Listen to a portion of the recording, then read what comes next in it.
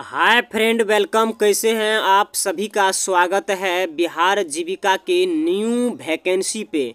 तो सबसे पहले आपको गूगल क्रोम खोल लेना है। उसमें लिखना है आपको B R L P S dot in. Dot in जैसे ही आया, इसको आपको सर्च करना है एरो के चिन्ह से। सर्च करने के बाद आपके पास इस तरह का इंटरफेस आएगा। इस तरह का जो इंटरफेस आएगा, बिहार में एक नई अपडेट जो आया है, नई वैकेंसी जो जीविका में आया है, वह बाईस तेईस के लिए है। 2022-23 में इसका ज्वाइनिंग होने वाला है। तो सबसे पहले आप लोग को करना क्या है, इसको एक बार आप लोग देख लीजिए। और देखने के बाद इसको करना क्या है थ्री डॉट पे जैसे ही आप लोग जाते हैं तो थ्री डॉट पे क्लिक करें इसे आप लोग डेस्कटॉप साइज़ करना है। यहाँ पे देखिए डेस्कटॉप साइज़ आ गया। इस डेस्कटॉप साइज़ पे क्लिक करना है।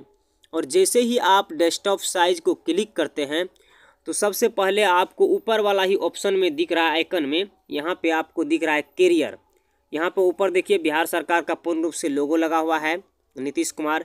इन्हीं के द्वारा चलाया गया यह योजना है।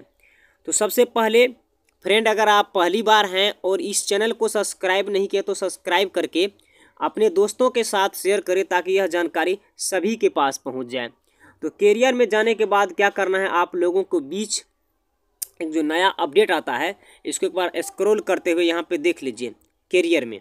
बहुत सारा अपडेट आप लोग के बीच यहाँ पे दिया गया है। जो सिलेक्शन का प्रोसेसिंग डेट है डॉक्यूमेंट का, वो सारा कुछ यहाँ पे देख लीजिए कि यहाँ पे समय दिया गया है। जो इसका क्लोजिंग डेट जो हो जाएगा, छब्बीस बारह दो हज़ार बाईस तक इसका क्लोजिंग डेट हो जाएगा।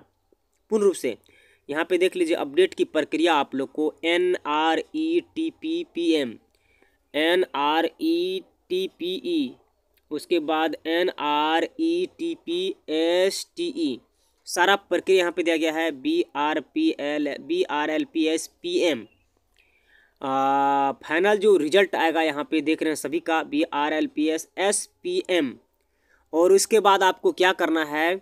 B R L P S writer internship internship से, यानी आप लोगों का बीच जो यहाँ पे इंटरशिप से आप लोग को डायरेक्ट यहाँ पे सीधी भर्ती होने वाला है।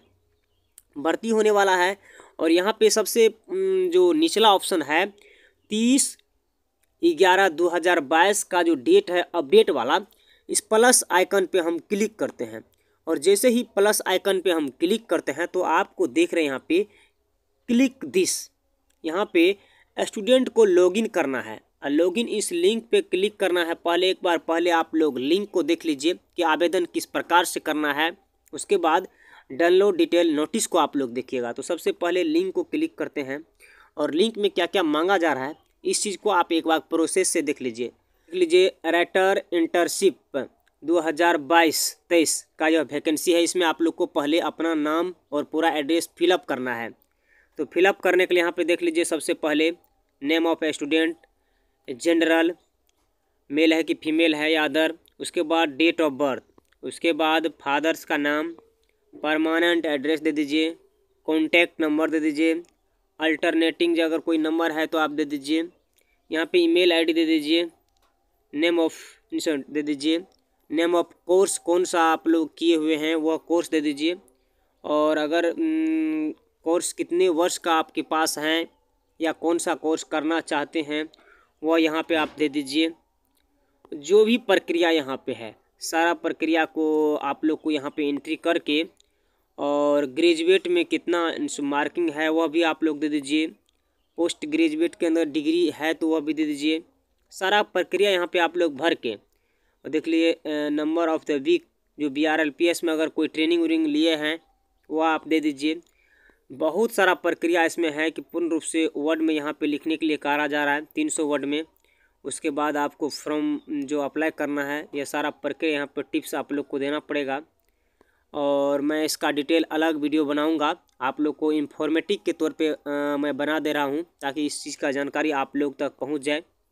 जीविका में अगर जुड़े हुए हैं यहाँ बिहार जीविका का लोकेशन भी आप लोग डाल दीजिए।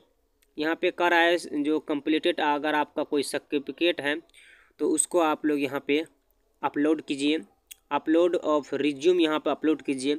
उसके बाद सबमिट करके आप लोग क्लियर फॉर्म पे दबा दीजिए।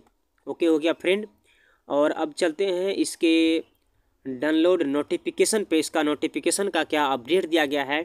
इस नोटिफिकेशन को एक बार हम क्लिक करते हैं। बैक आ गए। बैक आने के बाद हमको क्या करना है? फिर से प्लस आइकन पे क्लिक करना है। और प्लस आइकन पे क्लिक करने के बाद हमको क्या करना है? डाउनलोड नोटिफिकेशन पे हम लोग को जाना है। तो यहाँ पे डाउनलोड वाला ऑप्शन पे हम क्लिक करते हैं। यहाँ पे हमको कह रहा है डाउनलोड करने के लिए। तो हम इसे डाउनलोड करते हैं। डाउनलोड करने के बाद बाईस तेईस जो भी ऑप्शन आ रहा है, इसको आप एक बार देख लीजिए। यहाँ पे है डाउनलोड ऑप्शन इसमें सारा प्रक्रिया डिटेल दिया गया है। आपको इसको पढ़ लीजिए।